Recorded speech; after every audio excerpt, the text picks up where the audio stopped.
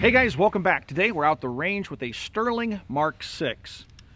This is a semi-automatic version of a famous British submachine gun that was developed during the Second World War, right around 1944, but really didn't enter service until the 1950s. It was designed to replace the Sten gun. The reason I've brought this gun out is because I've been seeing, seeing the trailers for Rogue One, which is a new Star Wars movie. I'm a big Star Wars fan. We just had The Force Awakens come out not long ago, and this is, believe it or not, the Stormtrooper rifle. This is what Hollywood turned into the Stormtrooper blaster by putting various gunk all over the gun. Of course, it would have had its short barrel and a stubby five round magazine. Normally the gun feeds from a 34 round magazine, which we have here, and the gun loads from the side and ejects out that way. So basically the ammunition feeds straight through the gun. Now what I will say about this firearm is this is not a Wiselite conversion that Wiselite and Century Arms sold. This is a real Sterling made gun. This is made in the UK and imported. This was made back in the 80s and imported long before the import bans started in 89. So this is a very rare gun. This is called a Mark 6. The Mark 6 was manufactured in England for police forces. It was designed to be a closed bolt. The original submachine gun was an open bolt. So it was designed to be sold globally as a semi-automatic police carbine. A few were made with 16-inch barrels to meet compliance laws here in the United States. And there were about 1,600 of the guns total that were made, and I don't know how many of them made it into the United States, but this is a very rare gun. So what we're gonna do today is do a little bit of shooting with the Sterling. It's kind of an interesting little setup how this thing works here, or doesn't work. It's kind of a pain in the butt to put the stock out. but we'll do a little bit of shooting with it this afternoon and break it down for you and show you what this little gun is all about. Yeah, as I struggle with it to get it loaded here. Let's see if we can uh, hit a steel plate. Has some challenge steel targets downrange. See what we can do here.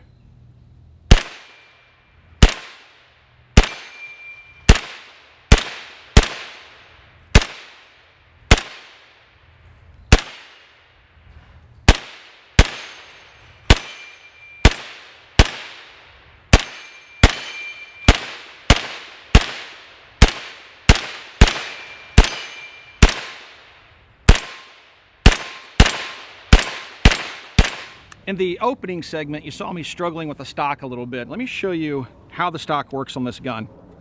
You have a butt cap here that holds everything in place. You can see these little notches right here. This has to push in, which is working under pressure from the recoil springs inside here. This has to push in so that you can swing the stock open and engage these locking recesses. But not only that, you have to push this release tab, which you can see how it works right here, so that the cap will actually come in far enough to allow the stock to engage. So that's why I was struggling with it a little bit. Now up front, here's the butt plate right here. You swing this down and you'll see the little locking tab right there. See how it moves back and forth? And that just locks into one of the slots down here on the bottom of the, of the receiver. So you just pull it back a little bit, click it, and that's how it locks in the folded position. So to unlock it, you have to pull this down.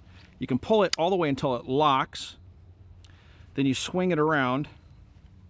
Have to push the butt cap in. You can see where it's trying to engage right there. Okay, but you have to push this detent and push the cap in at the same time while you're trying to bring the stock up. So uh, I'm not exactly well versed in shooting the gun. That's how it all works. I don't shoot this gun a whole lot because again, it's exceptionally rare and you can see that this thing is in pretty much mint condition. It's like new, I would say. So, yeah, that's why I was struggling with the stock a little bit. To put it away, you have a little tab inside the buttstock. I'm going to push it with my thumb, and that allows it to collapse. All right, then it'll come up and fold over. Then once again, you have to push this tab, push in on the butt plate, and push this unlocking tab to get it to go in far enough. Sometimes it's a two-handed operation for me anyway. Push both end, and then it'll unfold and let it fold forward. Fortunately, the Stormtroopers kept their stocks folded. yeah, not the easiest stock in the world to use, but it does fold up into a nice small package. So I'm going to give you guys a little bit of a left-handed perspective here with the Sterling.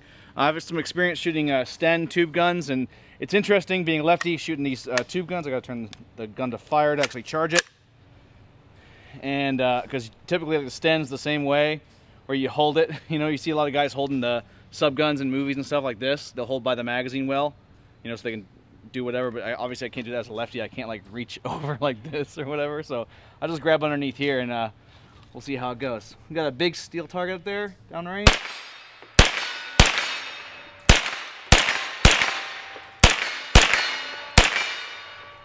Let's see if it'll uh, shoot fast.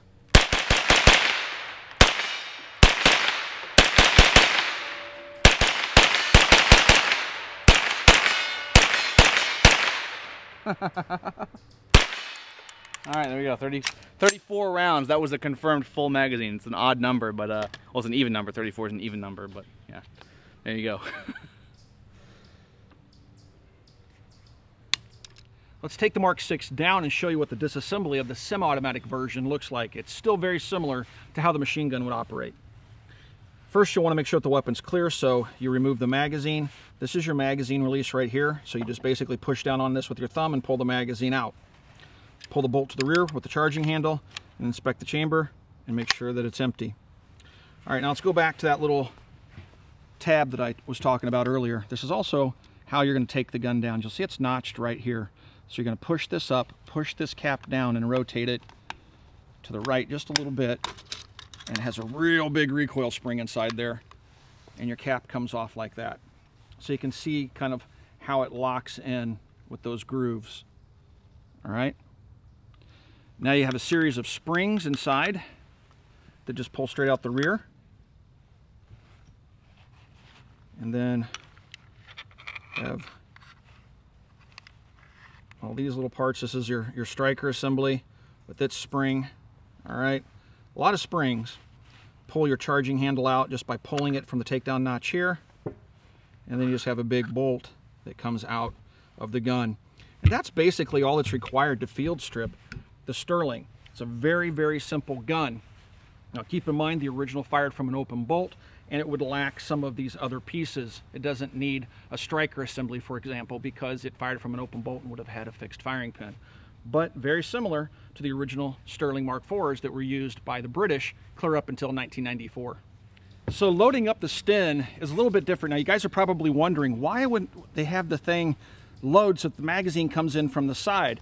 Well, it's actually quite logical if you think about it. If the 34 round magazine hung from underneath the gun in a traditional sense, trying to go prone with it would be very difficult. With the magazine coming in from the side, you can get very low to the ground or very close to cover. So that's what the Brits were thinking when they made the guns load from the side. I actually think it's quite ingenious, but I, also, I will also say that it makes the gun kind of left side heavy. So when you insert a full magazine, the gun kind of wants to hang this way. Uh, and I would imagine being a right-handed shooter, uh, having it slung would make, would make for a very awkward gun to carry. But very simple, tube design, and uh, just really easy to shoot. Let's go ahead and load around here really quick. And again, we're just shooting this American Eagle 115 grain range ammo. The stuff isn't really hot, and the gun runs it just fine. All right, we got a nice big steel challenge target down there.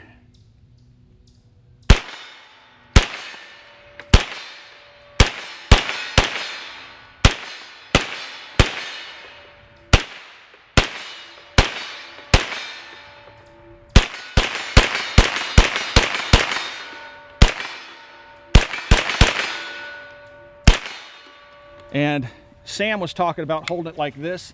If you watch the old movies, you'll, you'll see the commandos holding them like this and shooting them, but you can hold it by the magazine.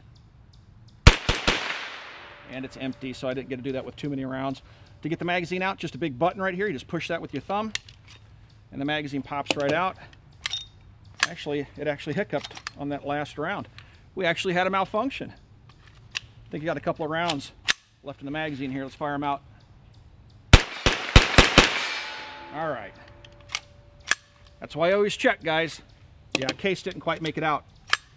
We're back at the 100 yard line. Let's see how accurate the little Sterling is. I've never really sighted it in, but it has really nice sights on it. It has an aperture rear sight. It has a really fine post front sight. So you can actually get a pretty decent sight picture with the thing. Let's see how it's sighted in, or if it's sighted in at all.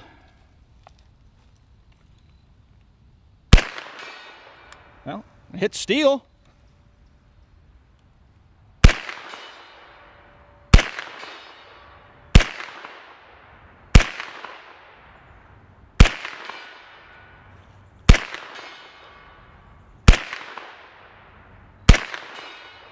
All right, so it's a hitting a little bit to the right. If I hold dead center, it goes just off to the right. I got to hold kind of left edge.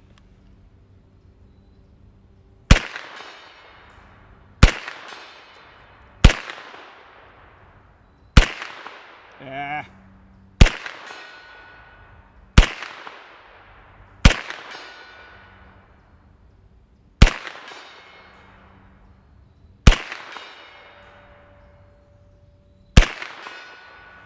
if I do my part, this little guy's accurate to 100 yards easily. You know, I think I figured out why the stormtroopers can never hit anything. They don't use the stock on this.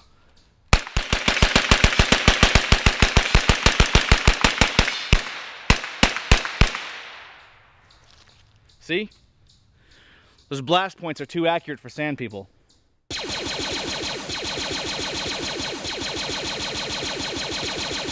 I really enjoy these old firearms, obviously. I think at the beginning of the year, I told you guys this year, 2016, I was going to focus more on covering the guns I have in my collection that are of real interest to me.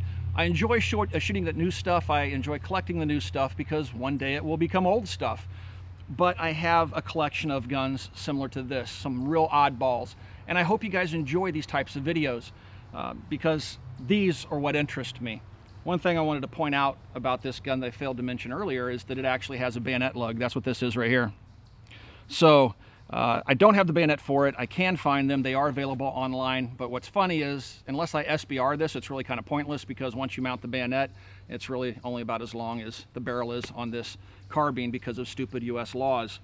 But um, yeah, I enjoy this gun quite a bit, like I said, along with others. If you guys enjoy seeing these old guns, comment down below. Let me know that you enjoy seeing them, that you would like for me to continue to show you these guns out of my collection, or if there's a gun out there that I've not shown you would like me to show, make a post, comment about it. I may actually have it in my collection. I have Nighthawk carbines, Lindas. Uh, I've already shown you guys the Sites Spectre. I have all sorts of weird stuff I've collected over the years. And, um, you know, I'd be more than glad to do videos on it. And again, I do try to read the comments down below. We only stick around, though, for the first couple of days after we post these videos live because of the massive of comments that we get. We can't keep up with all 600 videos and the comments that are posted to them. So please comment down below. Also, if you would like to support the Military Arms channel, you can do that by shopping at Copper Custom. It's the best possible way to support us here at the channel. Also, if you haven't already, please swing by and check out full30.com. That's full30.com. We've taken all the web's best firearms content creators and brought them under one gun-friendly roof, and that is full30.com. Thanks again for watching, everybody. We'll talk to you guys soon.